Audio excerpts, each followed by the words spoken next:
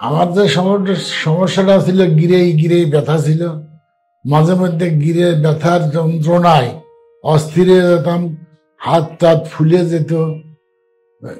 তারপরে এই বিভিন্ন ডাক্তারের কাছে যাই, কয়েকদিনের জন্য একটু ভালো থাকি, পুনরায় আবার যা তাই, আবার যা তাই। যে ডাক্তারের কাছে যাই, ওষুধ দেয় এক সপ্তাহ পরে আবার, এক সপ্তাহ ভালো থাকলে আবার যথারীতি ভাবে শুরু হয়ে যায় ওই অসুখ।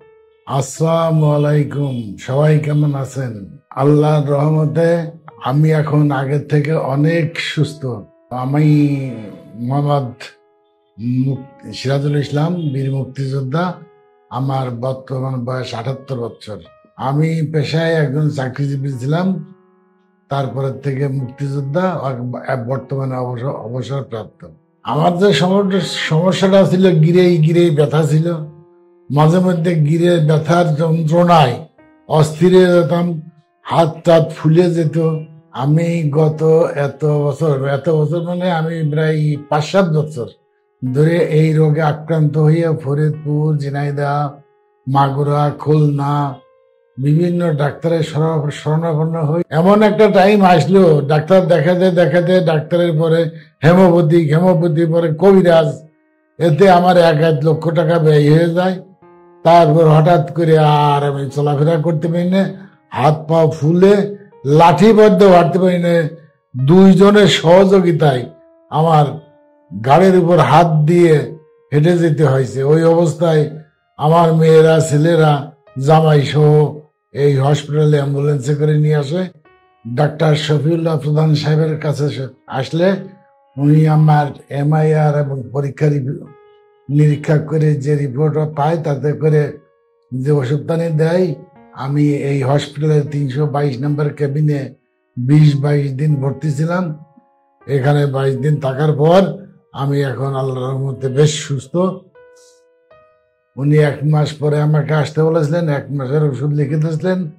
ওনার ওষুধ নিয়ম মতো খেয়েছি এবং ওনার প্রসেস অনুযায়ী শারীরিক ব্যায়াম করেছি।